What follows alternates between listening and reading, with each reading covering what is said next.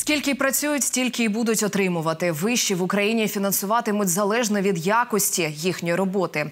Про це повідомляють у міністерстві освіти і науки України. На думку нової очільниці міністерства Гани Новосад, держава отримає велику кількість університетів незалежно від того наскільки якісно вони працюють. Тому найближчим часом міністерство планує розробити набір індикаторів, за якими перевірятиме успішність вищих навчальних закладів. Серед головних критеріїв працевлаштування випускників рейтингове місце університету та активність у міжнародній діяльності.